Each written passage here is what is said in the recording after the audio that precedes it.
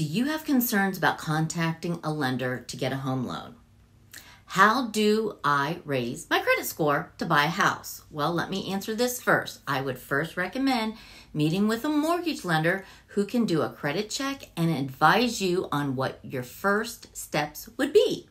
Understanding your credit score will help you look at the big picture.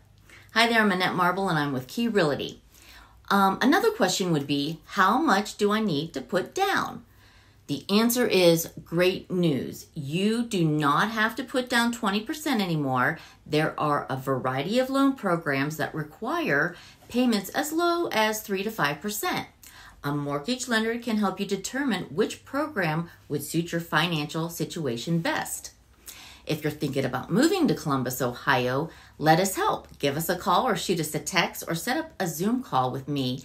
Just hit the links below um, if you need a good lender to discuss your options, reach out and I can get you all hooked up.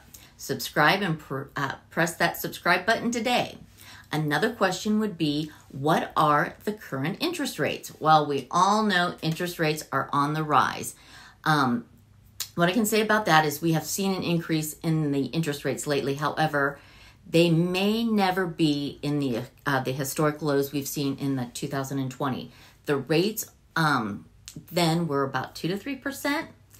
Uh, right now, I must say, being a homeowner is better than paying a 100% interest rate to a landlord. Call a lender today and get locked into a rate right now before they inch up even more.